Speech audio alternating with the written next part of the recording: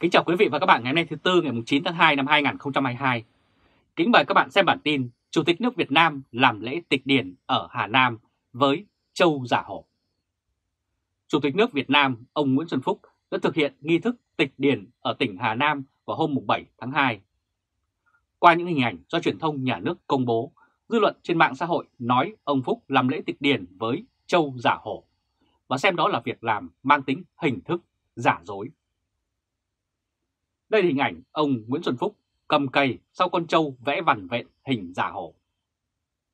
Cổng thông tin điện tử của chính phủ Việt Nam cho biết Chủ tịch Phúc làm lễ tịch điền ở xã Đội Sơn, huyện Duy Tiên, tỉnh Hà Nam vào mùng 7 tháng Giêng năm nhâm dần theo âm lịch. Lễ hội này được thực hiện hàng năm và được coi là quốc lễ, tiếp nối vào sự kiện được lưu truyền trong lịch sử Việt Nam. Đó là vào hồi năm 987, vua Lê Đại Hành đã về vùng đất núi dọi ở sông Châu, đích thân cầm cày trong lễ xuống đồng đầu năm. Phát biểu tại buổi lễ, ông Chủ tịch nước Nguyễn Xuân Phúc khẳng định Đảng Cộng sản Việt Nam và nhà nước luôn khuyến khích và đề cao sự phát triển của nông nghiệp trong sự việc xây dựng và bảo vệ Tổ quốc Việt Nam xã hội chủ nghĩa. Báo điện tử Chính phủ cũng tường thuật như vậy vào hôm 7 tháng 2. Vị Chủ tịch nước cũng đề nghị nông dân, các cấp chính quyền, cán bộ, ngành liên quan coi trọng sản phẩm nông nghiệp, phục vụ nhân dân trong nước với 100 triệu dân và đồng thời khai thác thị trường quốc tế với 15 hiệp định thương mại tự do đã có, trong đó có hiệp định giữa Việt Nam và châu Âu, hiệp gọi tắt là EU-FTA, hiệp định đối tác toàn diện khu vực ECEP và hiệp định đối tác toàn diện tiến bộ xuyên Thái Bình Dương CPTPP, vân vân. Tuyên bố lễ khai mạc tại hội tịch điền Dọi Sơn Xuân Nhâm Dần năm 2022 ông Chủ tịch Nguyễn Xuân Phúc cũng đưa ra lời chúc một năm mới mưa thuận, gió hòa, mùa màng, bội thu, năm mới, thắng lợi mới. Chúc các bác nông dân dồi dào sức khỏe để ruộng đồng luôn tốt tươi. Ông Phúc nói theo trích dẫn trên báo điện tử của chính phủ. Vẫn trang này cho biết thêm rằng trong trang phục vụ nhà nông, Chủ tịch Nguyễn Xuân Phúc đã cùng các đại biểu và người dân địa phương thực hiện nghi thức tịch điền, tức là cày giữa những luống đất đầu tiên khởi đầu cho mùa vụ mới bội thu. Các hình ảnh về buổi lễ cho thấy ông Phúc thực hiện động tác cày ruộng đi sau một con trâu được trang trí với các hình vằn vện màu vàng trên thân thể và một lá cờ ngũ sắc trên lưng. Những hình ảnh đó đã dẫn đến nhiều bàn luận trên mạng xã hội theo quan sát của Đài tiếng nói Hoa Kỳ. Nhà báo Lưu Trọng Văn có gần 99.000 người theo dõi qua Facebook viết trên trang cá nhân rằng hình ảnh Chủ tịch nước đi cày nhân lễ tịch điền ở Hà Nam không gây ấn tượng chút nào. Đây là hình ảnh ông Chủ tịch nước Nguyễn Xuân Phúc dâng hương tại lễ tịch điền Đội Sơn. Dưới góc nhìn của ông Văn, hình ảnh về buổi lễ cho thấy đám quan chức đứng quanh phía sau là thềm sân ốp gạch men đỏ cùng con trâu vẽ vằn vẹn vàng. Bị xem là một thật phản cảm. Nhà báo kỳ cựu này cho rằng nếu Chủ tịch Phúc làm lễ cùng con trâu không trang điểm son phấn như đang biểu diễn bên cạnh những nông dân thực sự cũng đang cày giữa đồng, thì sẽ thân thiện và dễ mến biết chừng nào. Biết là vua đi cày chỉ là diễn, nhưng tâm để vào việc cầu chúc nông dân mùa mới bội thu thì cách vẫn phải khác. Sự việc Chủ tịch nước đi cày mang ý nghĩa lớn, nhưng hình ảnh đám quan chức đứng quanh phía sau là nền sân ốp gạch men đỏ cùng con trâu vẽ vẳn vẹn vàng thật phản cảm. Nhà văn Lưu Trọng Văn viết vậy trên trang Facebook cá nhân của mình.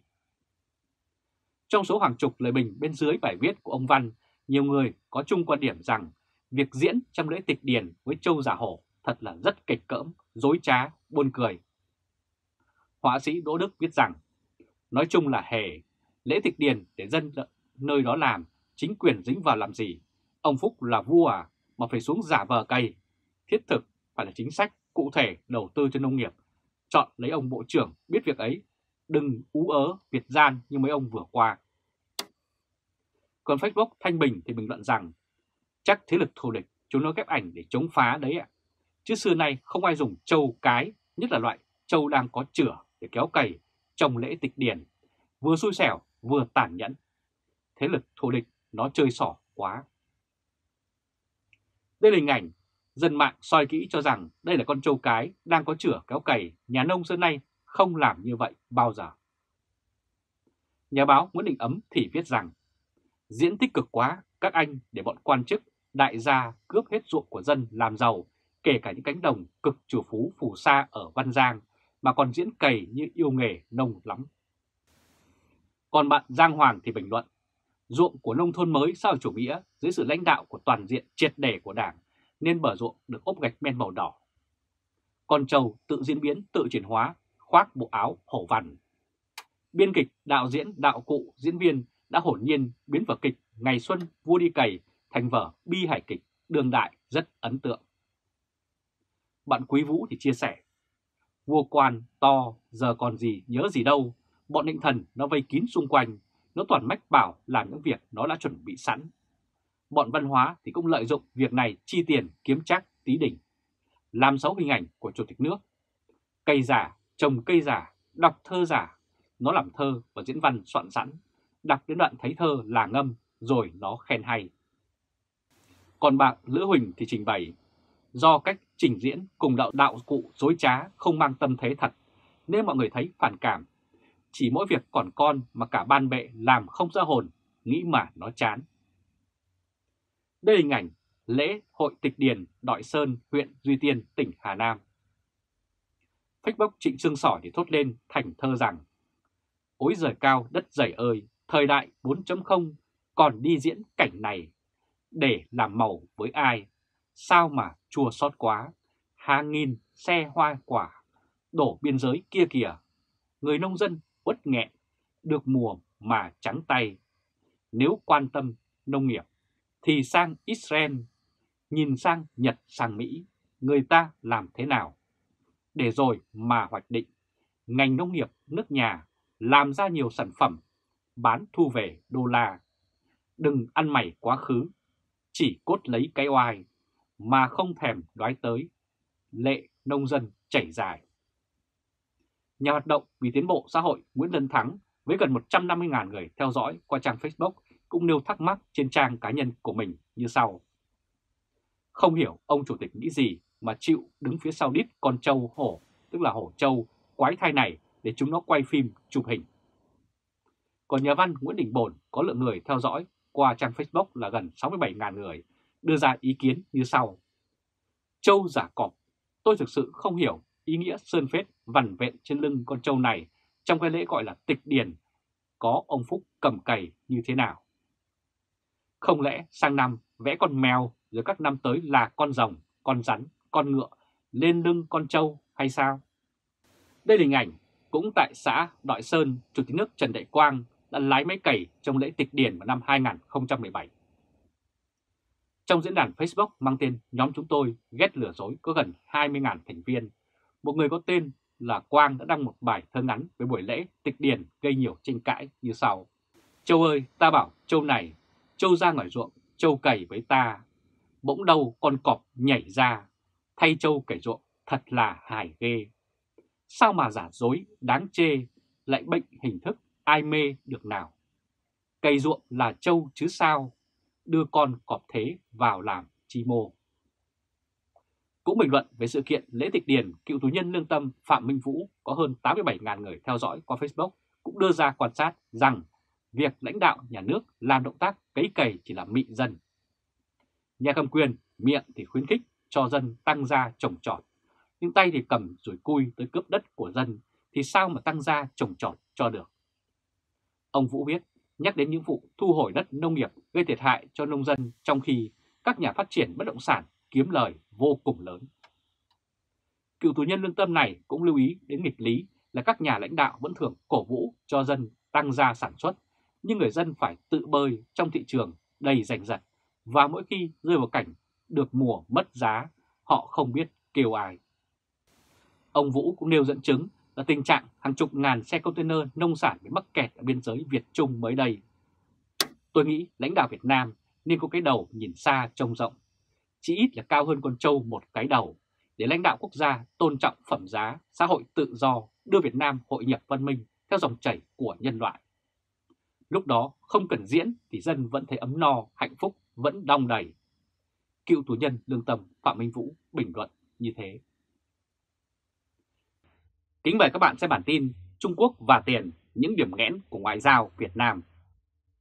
Năm vừa qua, báo chí Việt Nam được dịp ca ngợi hết lời về những thành tích của ngoại giao Việt Nam. Chính phủ Việt Nam và ngành ngoại giao còn hồ hởi khen rằng khoe công trạng khi đại dịch COVID-19 bùng phát và diễn biến phức tạp trên thế giới và trong nước. Ngành ngoại giao đã tuyên phong cùng các bộ, ngành đẩy mạnh ngoại giao y tế, ngoại giao vaccine, tranh thủ sự hỗ trợ kịp thời, hiệu quả của cộng đồng quốc tế về vaccine, thiết bị y tế và thuốc điều trị, chung tay cùng cả nước phòng chống dịch bệnh. Tuy nhiên, đang say sưa trong men chiến thắng, vụ công an bắt bà Nguyễn Thị Hương Lan, Cục trưởng Cục lãnh sự, đã như một cái tát vào mặt ngoảnh ngại giao của Việt Nam.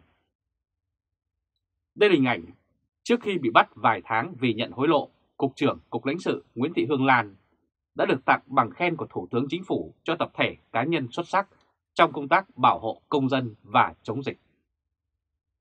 Thực tế cho thấy những âm mưu bẩn thỉu, những trò chơi tham nhũng vẫn còn đó và vụ bắt bà Lan chỉ mới là phần nổi của tảng băng chìm đối với tình trạng tham nhũng trong Bộ Ngoại giao Việt Nam nói riêng và của tất cả các bộ ngành tại Việt Nam nói chung.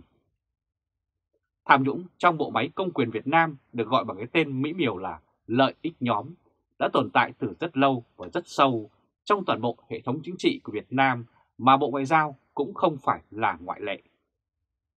Người ta đã bàn tán từ lâu mỗi chức vụ trong các cơ quan ngoại giao đều có giá của nó. Từ các vị trí vụ phó, vụ trưởng đến các chức vụ cục trưởng, thứ trưởng đều có giá cụ thể. Các cơ quan đại diện tại nước ngoài cũng vậy, phải chạy mới đi được chỗ ngon, nước giàu. Từ đó mới ra nhà, ra đất, chứ không thì đói thối mồm.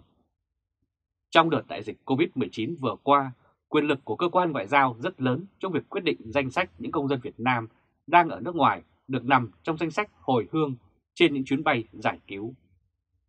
Và những lợi ích phát sinh từ quyền lực này đã dẫn đến việc ba cục trưởng cục lãnh sự cùng ba thuộc cấp phải sổ khám, tức là bị bắt giam. Những người quan tâm có thể đặt câu hỏi rằng nếu như nhiều quan chức ngoại giao cần tiền như thế, thì việc tình báo Trung Quốc xâm nhập vào cơ quan ngoại giao Việt Nam sẽ không hề khó khăn gì. Vì tình báo Trung Quốc sẵn sàng chi rất nhiều tiền để mua thông tin cũng như tạo ra các cách để chi phối đến những chính sách đối ngoại của Việt Nam. Đây là hình ảnh bốn cán bộ lãnh đạo Cục lãnh sự bao gồm cả Cục Phó, Cục trưởng bị khởi tố vì ăn hối lộ trong chuyến bay giải cứu công dân trong đại dịch với giá cắt cổ. Sẽ có những người bênh vực ngành ngoại giao thì nói rằng đây chỉ là hoạt động kiếm sống của nhân viên ngoại giao nói chung vì ngành ngoại giao rất đặc thù nhưng thu nhập lại rất ít ỏi. Lãnh lương như tất cả các cán bộ công chức của Việt Nam khác, nhưng sinh hoạt tại các cơ quan đại diện nước ngoài thì phải trả bằng ngoại tệ. Nhưng các nhân viên ngoại giao này biết ăn tiền ở đâu để tránh khỏi bị tình báo nước ngoài mua chuộc. Thế nhưng đã gọi là tình báo thì các biện pháp mua chuộc và xâm nhập là vô cùng đa dạng và phong phú, dễ gì các nhân viên hám tiền lại thoát được cơ chứ. Câu chuyện tham nhũng của bà Lan cũng cho thấy vai trò của ngành ngoại giao chưa được đặt đúng mức trong hệ thống chính trị tại Việt Nam. Trong ba bộ liên quan đến việc hoạch định chính sách đối ngoại bao gồm Bộ Quốc phòng, Bộ Công an và Bộ Ngoại giao, thì Bộ Ngoại giao xếp hàng chót. Ngoại trưởng Việt Nam hiện nay còn chưa được vào Bộ Chính trị, trong khi Bộ trưởng Quốc phòng và Bộ trưởng Công an luôn là Ủy viên Bộ Chính trị.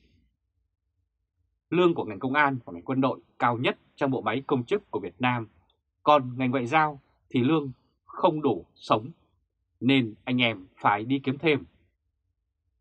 Chưa kể đến việc trong quan hệ với Bắc Kinh, ngành ngoại giao luôn bị gạt ra khỏi những quyết định quan trọng ảnh hưởng đến vận mệnh đất nước. Phóng viên Huỳnh Than, tên thật là Hoàng Ngọc, có nhiều tư liệu về một nhân vật tài năng ngoại giao, đó chính là cố ngoại trưởng Nguyễn Cơ Thạch. Đây là hình ảnh Bộ trưởng Ngoại giao Nguyễn Cơ Thạch ở giữa và Đại tướng Võ Nguyên Giáp tiếp người đồng cấp, đồng sáng lập Đảng Xã hội Pháp vào năm 1982. Những năm đầu 1990, vì Trung Quốc không ưa ông Thạch, nên hội nghị Thành Đô, ông Thạch đã không được tham dự và không được cung cấp thông tin. Giáo sư, tiến sĩ Vũ Dương Huân, người đã từng giữ chức vụ Giám đốc Học viện Ngoại giao, nguyên trưởng ban nghiên cứu lịch sử ngoại giao cho biết như sau. Khoảng 2-3 tháng trước đại hội lần thứ 7, tức là tháng 6 năm 1991, có rộ lên tin tức là Trung Quốc đang tìm cách hạ bệ ông Thạch vì ông chống Trung Quốc. Nhưng thực tế là ông chủ trì hội nghị, chủ trì nghị quyết số 13 mà một trong những nội dung quan trọng là giải quyết vấn đề Campuchia và bình thường hóa quan hệ với Trung Quốc.